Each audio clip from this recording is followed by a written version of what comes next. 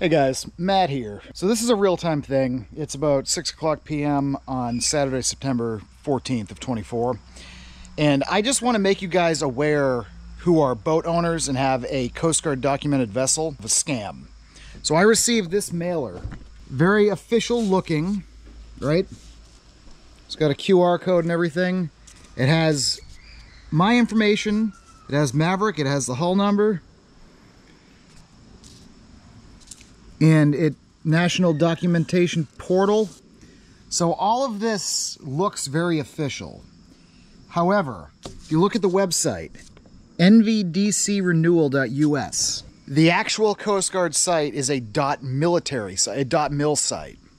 So these people are scammers. I actually went to the website and they're claiming that it's $75 a year.